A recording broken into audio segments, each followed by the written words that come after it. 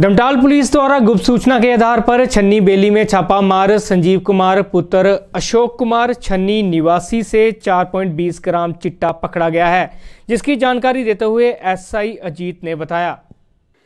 SP Kangra, Shri Santosh Patial ji के दिशा निर्देशानुसार नशे पर अंकुश लगाने के लिए हमारी टीम में एसपी साहब ने अलग अलग जगह पे भेजी हैं। आज छन्नी में भी एक सफलता हमारे को मिली है।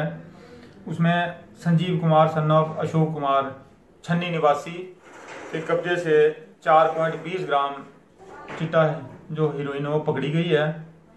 और इसके अतिरिक्त हमारी जो एसपी साहब ने दूसरी टीम है, उनकी, जिसमें, जिसकी Anil Kumar head constable narcotic cell का, उसकी सूचना पर गंगत एरिया में 6.9 ग्राम एक स्कूटरी जिसमें विनोद रवि सन ऑफ़ विनोद एक काथल का निवासी है उसको पकड़ा गया है।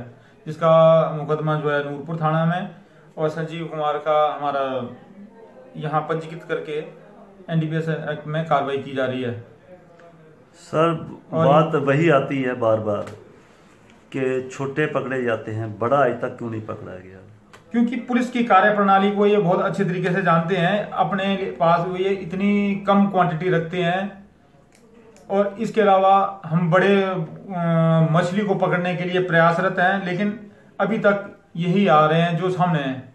कब तक ये, ये नशे का हमारे लगातार प्रयास हमारे जारी हैं और ये तब तक जारी रहेंगे जब तक ये अपने इलाके से नशा मुक्त नहीं हो जाएगा।